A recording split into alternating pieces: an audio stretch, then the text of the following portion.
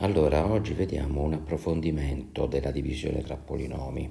In particolare vediamo il caso in cui i eh, polinomi da dividere abbiano coefficienti letterali, eh, perché nell'altra lezione abbiamo visto che i coefficienti dei polinomi erano eh, puramente eh, numerici ad esempio, se dobbiamo uh, fare questa divisione 5a alla seconda b più a alla terza meno 2 ab alla seconda più b alla terza e lo dobbiamo dividere per a alla seconda meno 4 ab più b alla seconda, allora dobbiamo, uh, in genere nella traccia viene scritto rispetto rispetto alla lettera o A o B in questo caso perché sono le uniche due che sono presenti nei polinomi, supponiamo che vogliamo fare la divisione rispetto alla lettera A.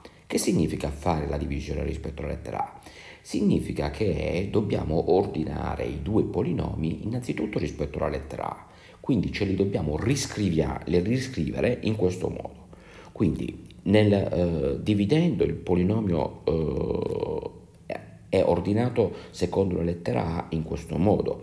A alla terza più 5A alla seconda B meno 2AB alla seconda più B alla terza. Il secondo polinomio è già ordinato rispetto alla lettera A e quindi rimane meno 4 alla seconda meno 4AB più B alla seconda. A questo punto eseguiamo eh, la uh, procedura che abbiamo visto come con uh, i polinomi a coefficienti puramente numerici. Uh, che cosa significa che ora i coefficienti sono letterali?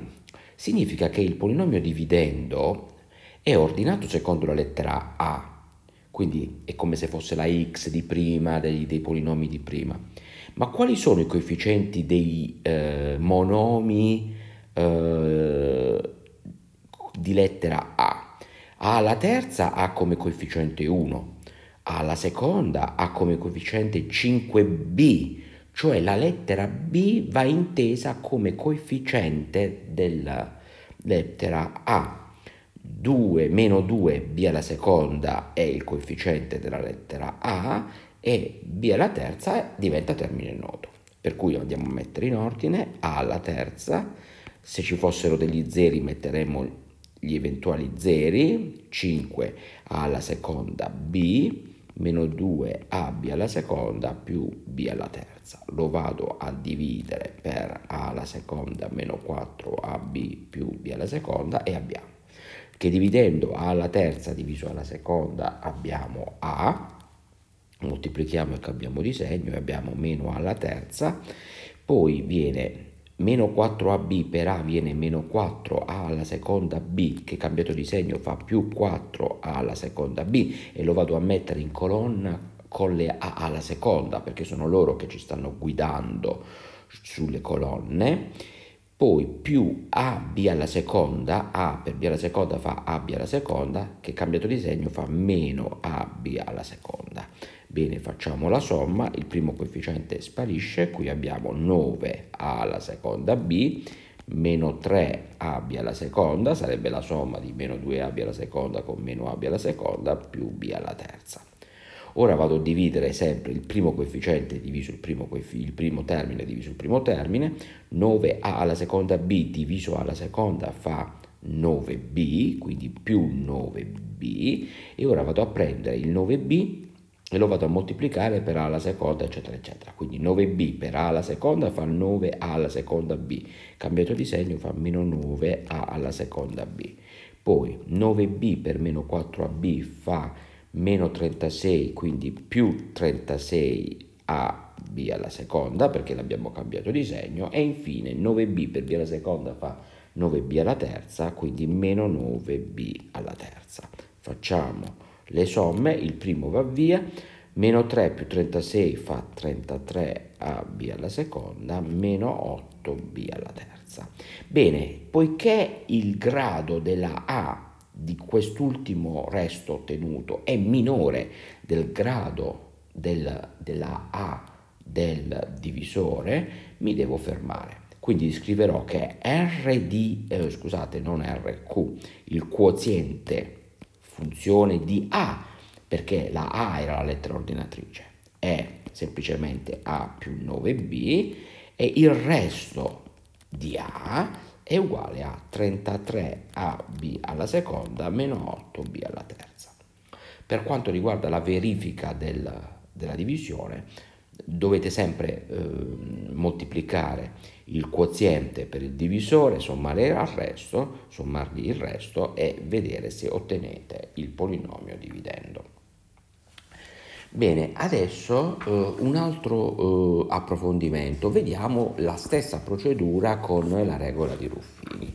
Eh, supponiamo di eh, avere un, eh, da fare una divisione eh, di un polinomio letterale, quindi con Ruffini, che cosa abbiamo? Supponiamo di dover andare a dividere, ad esempio, eh, il polinomio eh, meno b alla terza più 4x alla seconda b meno 21 ottavi x alla terza diviso b meno 3 mezzi di x.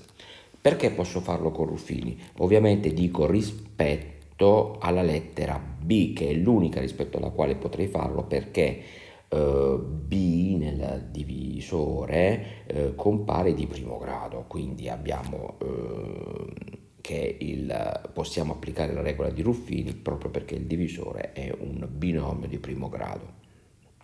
Allora, per Ruffini cosa dobbiamo fare? Eh, dobbiamo mettere in ordine i coefficienti della B. Il grado più alto della b è b alla terza nel polinomio dividendo, quindi è meno 1 il coefficiente di b alla terza. b alla seconda non c'è, quindi ci metto uno 0.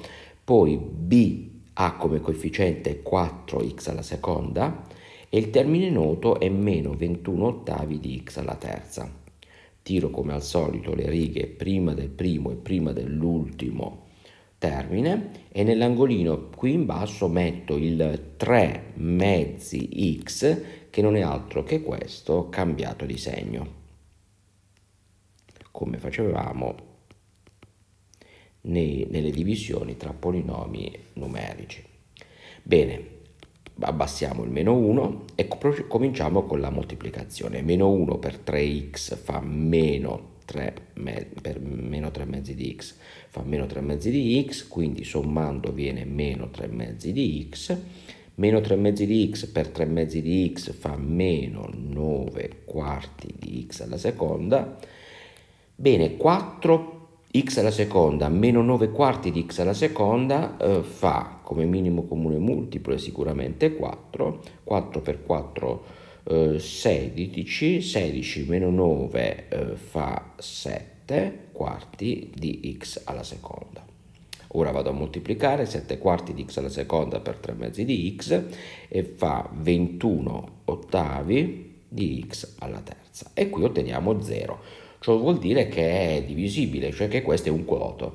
Quindi scriverò che il quoziente Q di B, perché B è la lettera ordinatrice, è meno l'1 è il coefficiente del eh, quoziente, del, di, in particolare della lettera B di grado di 1 inferiore rispetto a quella del dividendo. Cioè il dividendo aveva grado B alla terza, terzo grado, quindi avrà secondo grado il, il, il quoto in questo caso, chiamo quoto perché il resto è 0. Quindi viene meno B alla seconda, quindi di grado di 1 inferiore rispetto al terzo, meno 3 mezzi bx, perché 3 mezzi di x è il coefficiente di b, più 7 quarti di x alla seconda. E ovviamente il resto, che dovrebbe essere un resto di b, ma in questo caso non è più dipendente da b, è semplicemente 0. Va bene, ora ultima cosa è eh, vedere come fare, a altro approfondimento, eh, come fare eh, la eh, divisione con Ruffini nel caso in cui il divisore sia del tipo eh, del tipo scriviamo così a x più b. Cioè che voglio dire? Uh, che voglio dire che questo uh, non è 1 perché noi finora facevamo la divisione con Ruffini uh, quando il divisore era del tipo x più o meno b. Insomma era un monomio un binomio chiedo scusa in cui il coefficiente della x era 1 allora, eh, per fare questa divisione con Ruffini, eh, in questo caso, dobbiamo fare una semplice osservazione. Eh, nel caso in cui io ho la divisione di un polinomio a di x eh, diviso un polinomio del tipo ax più b, allora che cosa succederà? Avrò un certo quoziente q di x e un certo resto r di x il che significa che il nostro polinomio a di x è uguale al polinomio q di x per a più x, x più b, chiedo scusa, più r di x.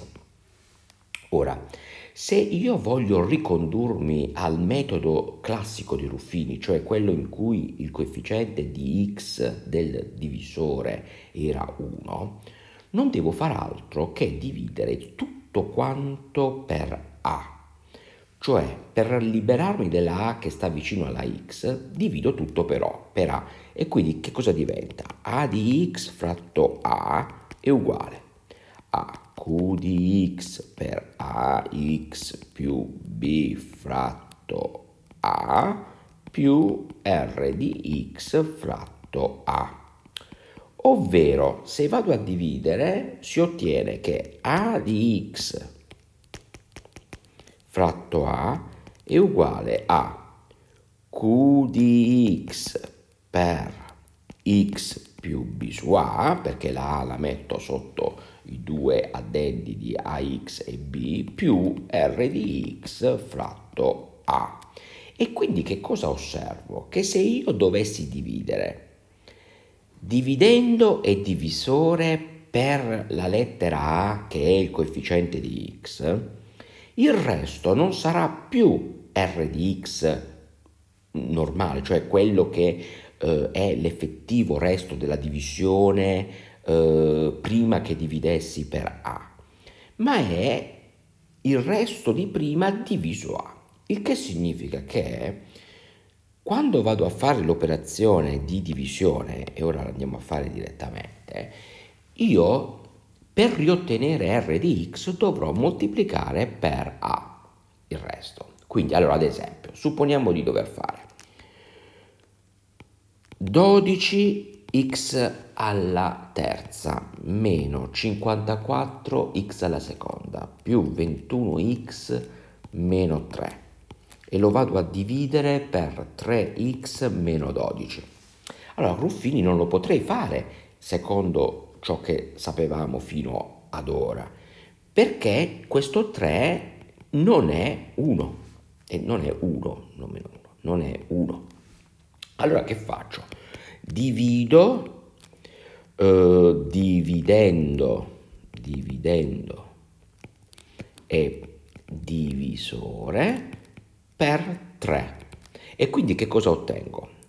12 diviso 3 viene 4x alla seconda, 54 eh, diviso 3 fa eh, 5 diviso 3 è 1, 18, giusto? 18x alla seconda più eh, 7x, 21 diviso 3, meno 1. Questo lo vado a dividere per, dividendo anche per la proprietà invariantiva, anche il eh, divisore per 3, x meno 4. A questo punto ecco che la divisione è possibile con Ruffini e quindi mettiamo il 4, questo era un x alla terza, eh?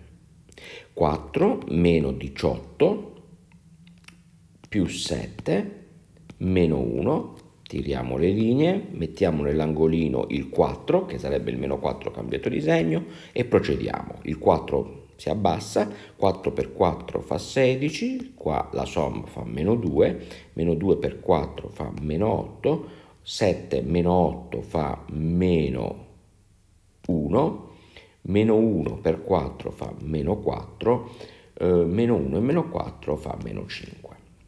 Ora, attenzione, chi è Q di x? Q di x è il solito 4x alla seconda perché devo scendere di grado, meno 2x meno 1, e il resto non è esattamente meno 5, è il meno 5, lo faccio in rosso, moltiplicato per il valore per cui ho diviso il tutto, moltiplicato per 3 e quindi mi dà meno 15.